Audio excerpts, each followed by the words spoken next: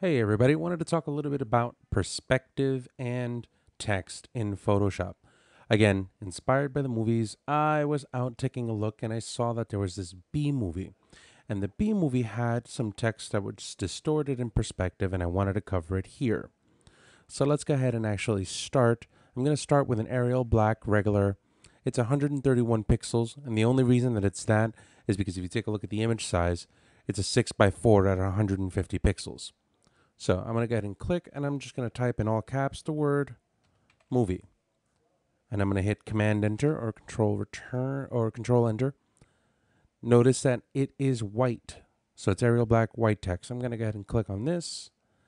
And I'll bring my palette in. Just use, let's say, a yellowy color. And now I can switch over to the Move tool, bring this over to the center. Now, for this, I'm going to switch back to the text tool, and then I'm going to go ahead and I'm going to select from this color, I'm going to select this orange that I have here. Now, what I tell people is usually wind up experimenting with the layer styles. They wind up giving you a lot of really cool effects, and you can delete them. So, I mean, play around. You, you can get some really cool stuff. Now, I have the layers style palette open here and I have the text layer movie. I'm going to double click on that. Notice the layer style window open up. I'm going to move this over here so that I can kind of see a little bit here. First thing that I'm going to want to do automatically, do a little bevel and emboss action. Now, once I wind up setting that up, one of the things that I don't like about this is in the poster, they had some kind of white areas up here at the top, but they didn't have any black stuff. So First thing that I'm going to do is I'm going to change the opacity down to zero.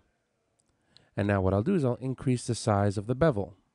And notice I can still come over here and do a command spacebar, control spacebar, and zoom in to kind of see this. I can move this out of the way and kind of get myself into a spot where I can kind of play with the softening. Notice that it softens the bevel here. I can increase the size. And you can also change where the light is facing it. So notice it's almost as if here there's a sun and it's shining down onto the object. So it's sun's right here shining. So this is the bright area. This is a dark area.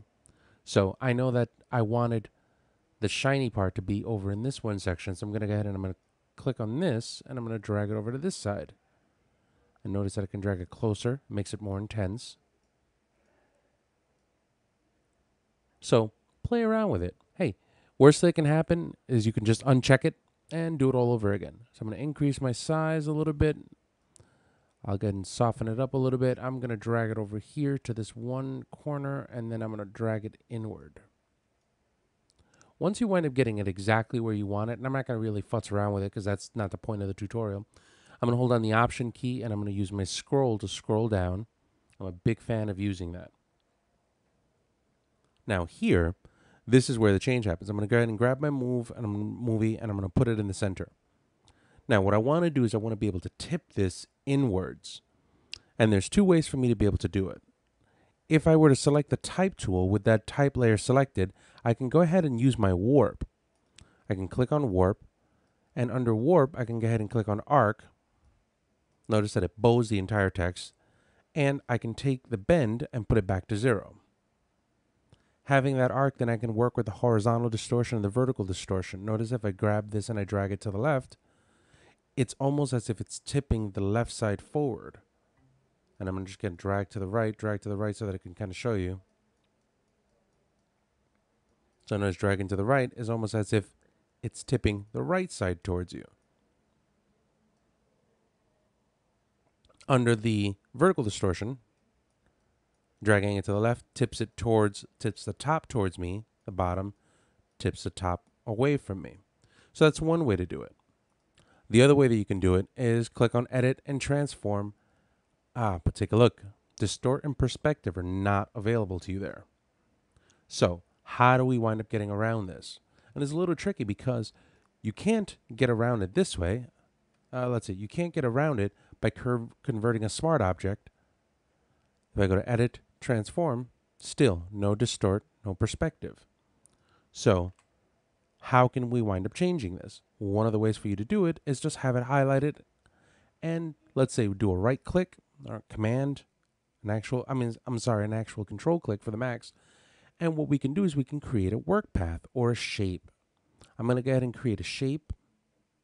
Now I have a shape that happens to look like the word movie with a fill. Once I have that set, I can go to transform path and I can select perspective.